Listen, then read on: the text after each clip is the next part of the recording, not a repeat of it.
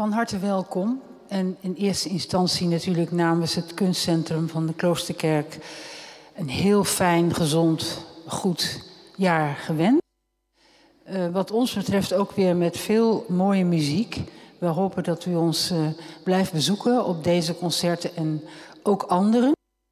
Uh, ik maak dus ook gelijk van de gelegenheid gebruik om nog een keer onder uw aandacht te brengen een concert op 10 februari.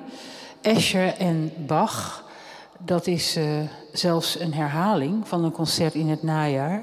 Vanwege groot succes. Dus is aanbevolen.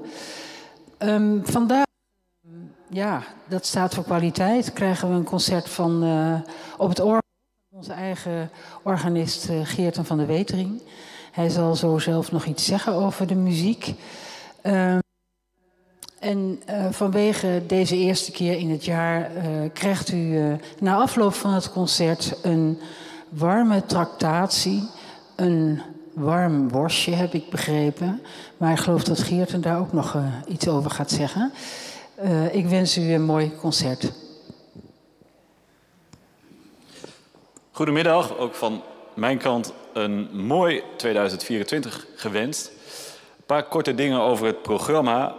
Um, we zitten in het nieuwe jaar, maar um, we beginnen toch met het melancholische Das alte jaar vergangen ist. Nog even op de valreep van dit oude naar nieuwe jaar van Bach. Er staat van Reger vervolgens ook nog een heel intiem koraaltje, Morgenglanz der Ewigkeit.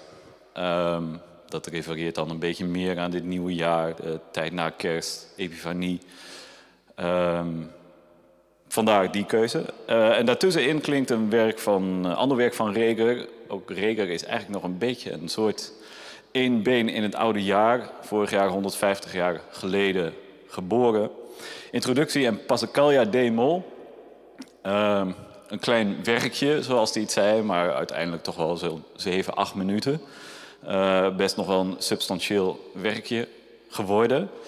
Um, wat eigenlijk al echt de, de, nou ja, de, de, de, de grote werken een voorbode is van de, van de grote werken. Of in het klein laat zien hoe die grote werken qua vorm en ontwikkeling eruit kunnen zien bij Reger. Hij schreef een boek van een organist uh, in uh, Schönberg, Taunus, vlak, vlakbij Frankfurt. Die wilde geld verzamelen voor de bouw van zijn orgel, van een nieuw orgel daar. En die dacht, uh, nou laat ik gewoon eens wat, wat componisten, wat goede componisten van deze tijd aanschrijven en uitnodigen om ter financiering van ons nieuwe instrument wat stukken te schrijven. Dus Reger, Widor, Gielman, Reinberger, Samuel de Lange, ze kregen allemaal een uitnodiging en ze schreven ook allemaal voor de beste man een stuk.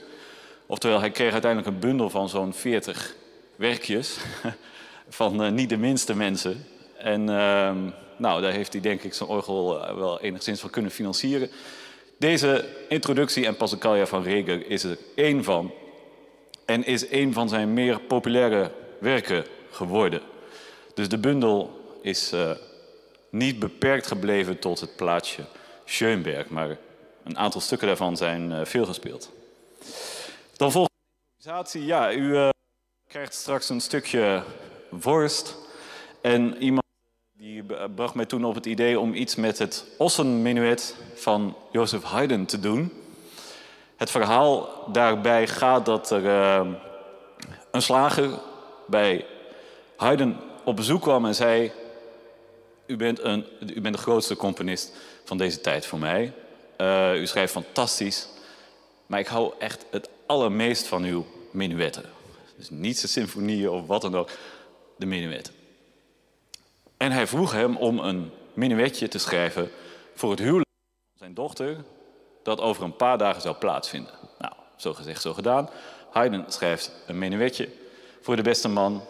En een paar dagen later hoort hij allerlei geluid op straat, orkest op straat, groot feest en verdraait. Hij denkt zijn menuet te herkennen. Hij kijkt uit het raam, ziet daar een, nou, een grote menigte, orkest, groot feest. En een os versiert, bloemen, bellen, uh, instrumenten aan, aan het beest. Eén groot versierde boel. En vervolgens de slager. Dus hij loopt naar buiten, loopt naar de slager, de slager loopt naar hem, zegt, nou, meneer Haydn, hartelijk dank voor uw prachtige menuet. We hebben het, uh, het is uitgevoerd bij mijn dochter voor het huwelijk. En ik kan u niet beter bedanken, leek mij, dan u deze os aan te bieden. Zo gezegd, zo gedaan. Het duurde even, maar Haydn accepteerde uiteindelijk de os. Wat er daarna mee gebeurd is, dat vertelt het verhaal niet.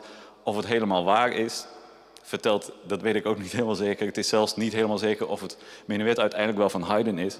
Maar hoe dan ook, ik dacht, ik gebruik het toch vandaag uh, voor de improvisatie.